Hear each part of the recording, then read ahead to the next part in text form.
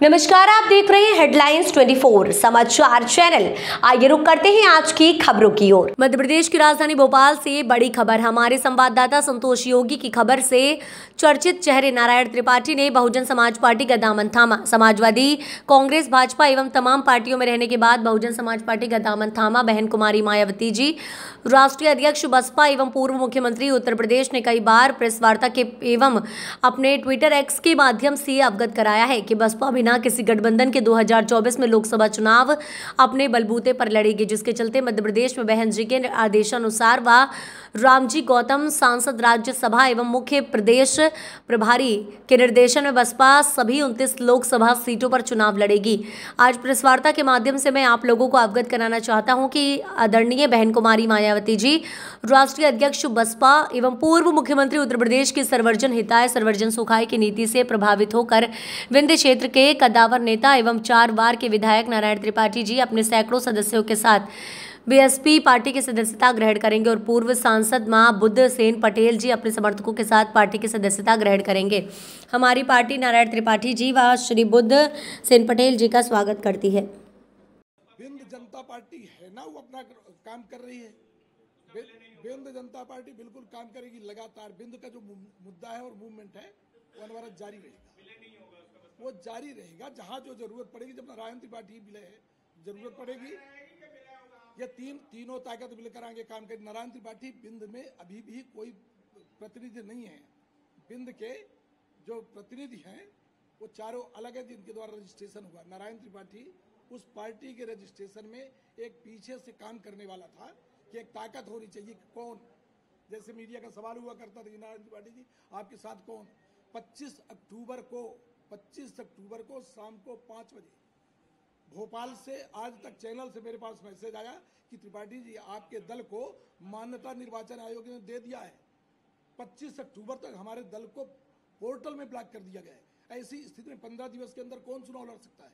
15 दिवस के अंदर जब मैं बोला कि बेटे को चुनाव लड़ा दिया तो लोग मुझको, मेरे, हमारे मित्र दिल्ली से तमाम लोग बैठे हैं, हमारे मित्र यहाँ भी मीडिया के लोग बैठे हैं, मुझे सलाह दिए कि त्रिपाठी जी, चुनाव आप ही लड़ना। यदि आप नहीं लड़ोगे तो लोग कहेंगे आप बिंद मूवमेंट से भाग गए तो आप हारने के लिए लड़ो पर चुनाव लड़ो। इसलिए मैं चुनाव लड़ा था। पंद्रह दिवस के अंदर कहाँ चिन्ह जा पाएगा? कहाँ चिन्ह कौन जा पाएगा? मेरी पत्नी मुझसे बोली कि सातवें नंबर में चिन्ह तब फ़ोटो दे के डाल पाए कौन वोट देगा आपको? तो कोई चुनाव जीतने के लिए नहीं लड़ते लड़ते हैं। बिंद के लोगों का विश्वास जीतने के लिए कि हमने अपना पूरा राजनीतिक जीवन समर्पित कर दिया बिंद के पुनर्निर्माण के लिए जनता पार्टी की आज बहुजन का भी दामन थाम लिया तो दो नाव वाले कैसे नहीं ये मेरी ताकत है कि दो नाव, तीन नाव, चार नाव, ये चलता चलाता रहता है। आप उनसे पूछो, जो लोग, वो क्या कर रहे हैं? लोगों को दहशत, भय, डर छोटे छोटे ठेला, टपरा, तुमको भाजपा के साथ नहीं हो तो ठेला भी नहीं लगेगा। वो जो काम कर रहे हैं, उसके बारे में सोचो। हम तो कांग्रेस के ज़माने में कुछ घटना घटी, उस घटना में विधायक रहते मैंने पार्टी को छोड़ा और वहाँ से मैं कोई भाजपा में थोड़ी आया था। भाजपा के लोगों ने घुटने टेक के मुझको लेके गए हैं। मैं एक बार नहीं हज़ार बार मीडिया के सामने बोला हूँ कि भाजपा के लोगों ने ये धर्म भ्रष्ट ये करते हैं। जैसे हमारे सम्मानी सांसद जी बोले कि ये सब लोगों को डर भय तमाम चीज़ें। हमने जिस जमाने में तमाम काम हुए उस जमाने में हम ईमानदारी के साथ अपनी लड़ाई लड़ी है। भाजपा में हम गए नहीं थे। भाजपा में ले गए थे? दो पार्टी कहाँ है? तो आपकी बिंद पार्टी? अरे दो पार्टी कहाँ भाई? वो पार्टी वो सोच है। बिंद मुद्दा है। बिंद एक सोच है। हमारा हक अधिकार है। हमारा मान सम्मान स्वाभिमान है। उसके लिए जब तक जीवन रहेगा तब तक हम भी लड़ेंगे और बिंद का एक एक आदमी लड़ेगा। दल दल चाहे कोई भी हो। मतदाता तो परेशान हो जाए बहुजन को वोट दें आपकी बिंद जनता पार्टी को वोट अरे मतदाता तो सामने स्पष्ट है ना कि ये ये जो प्रतीक चिन्ह ये गले में धारण किया हूँ ये तो सबको जान जान रहा है मैं बोला ना कि बहु बिंद जनता पार्टी का मैं कहीं किसी भी तरह कोई पदाधिकारी नहीं था। बिंद हमारे दिल में है। जब तक जीवन है हमारे अपने बाल बच्चों के बेहतर भविष्य के लिए वो लड़ाई लड़ते रहेंगे। शामिल हो रहे हैं। इसके पहले आपने अपना एक नया दल बनाया। भारतीय जनता पार्टी में भी आप रहे और समाजवादी पार्टी को आपने बहुत ताकत के साथ खड़ा किया। आज आप बसपा में आ गए क्या सोच करके आप बहुजन समाज पार्टी में शामिल हो गए मैंने राजनीतिक जीवन में संपूर्ण समय क्षेत्र के विकास के लिए गरीब लोगों के उत्थान के लिए कोई कहीं पीड़ित न हो, कहीं कोई कानून व्यवस्था के द्वारा प्रताड़ित न हो यह लड़ाई लगातार लड़ा। जहाँ जातिवाद का जहर का बोलबाला हो, उस जगह हमने जातिवाद से ऊपर उठकर, जहाँ भी हमें पीड़ित मिला, कौन वोट दिया, कौन वोट नहीं दिया, कभी सोचे भी नहीं। और राजनीति का जो व्यावसायीकरण हुआ है उस व्यावसायीकरण से भी अपने आप को दूर रखें आज के दौर में भी हमारे तीन बेटे हैं। हमने राजनीति में इसको धंधा, व्यापार न मान के सेवा भाव से राजनीति किया और बिंद मुद्दा है और बिंद मुद्दे की लड़ाई हो सकता है हम समझा नहीं पाए लोगों को। बिंद हमारा बनना चाहिए वो लड़ाई जारी रहेगी। इसके लिए जो मुझे उचित समझ में आया कि बिंद के लिए हम क्या कर सके। हम बिंद मैयर के विकास के लिए मैयर को जिला बनाए, पानी सड़क, बिजली, पानी, सब कुछ दिए। ग्रामीण क्षेत्र के अस्पताल देख दे मैयर का अस्पताल देख ले फाइव स्टार है। तो हमने मैयर को अपनी ताकत के साथ काम करा के दिया। वही हमारा सपना है कि मैयर देवी धाम है।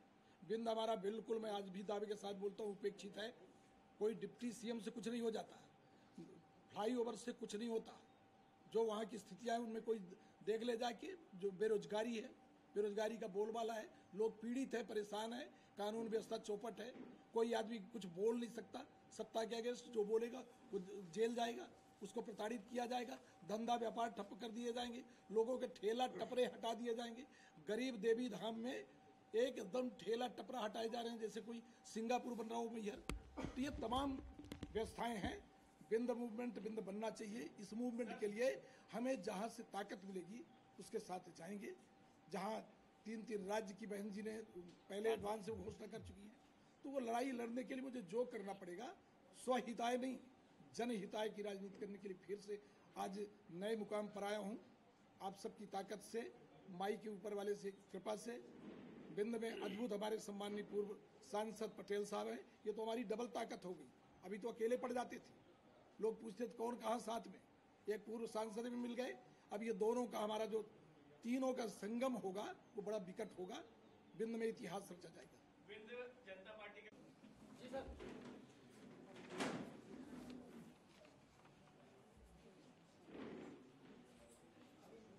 मीडिया बंधु जैसा कि आप लोगों को मालूम है कि बहुजन समाज पार्टी की राष्ट्रीय अध्यक्षा एवं पूर्व मुख्यमंत्री उत्तर प्रदेश पूर्व सांसद, लोकसभा, राज्यसभा जी ने कई बार अपनी प्रेस वार्ता और ट्विटर एक्स के माध्यम से अवगत कराया है कि बहुजन समाज पार्टी पूरी ताकत के साथ अपने बलबूते पर चुनाव लड़ रही है। उस कड़ी में मध्य प्रदेश में माननीय बहन जी के आदेशानुसार बहुजन समाज पार्टी के केंद्रीय कोऑर्डिनेटर और राज्यसभा के सांसद श्री रामजी गौतम जी के निर्देशन में बहुजन समाज पार्टी मध्य प्रदेश में भी सभी 29 लोकसभा सीटों पर चुनाव लड़ेगी। आज प्रेस वार्ता के माध्यम से आपको ये भी अवगत कराना चाहता हूँ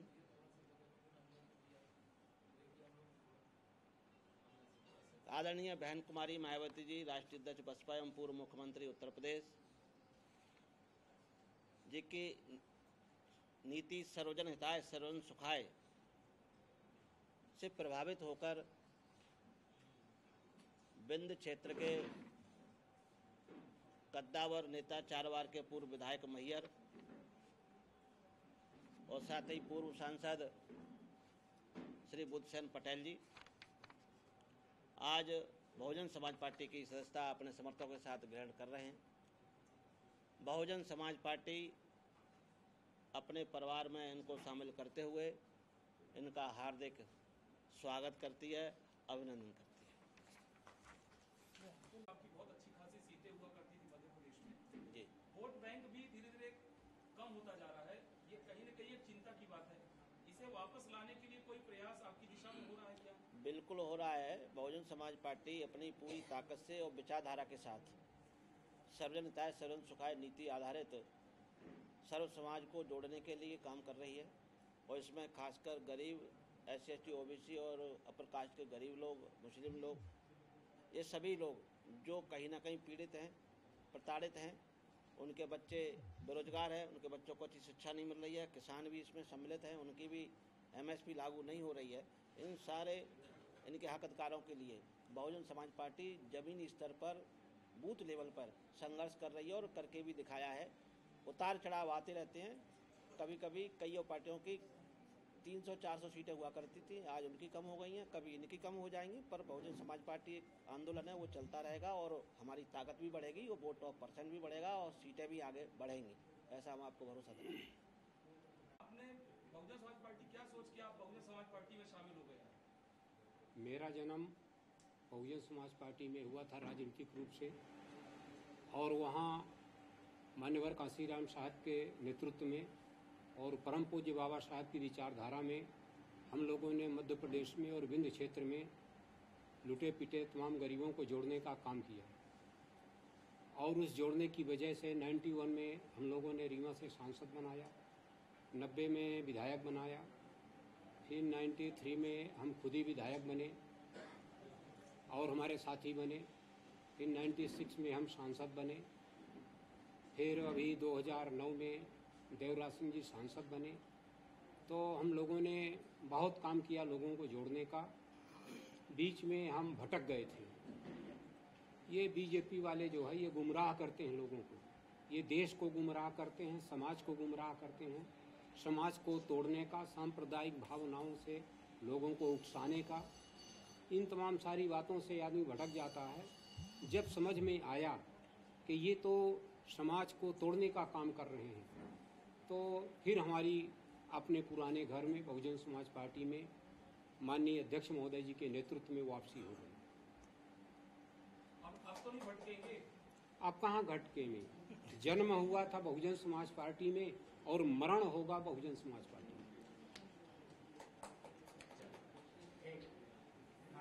ऐसी खबरों में बने रहने के लिए हमारे चैनल को लाइक, सब्सक्राइब ज़रूर कीजिए।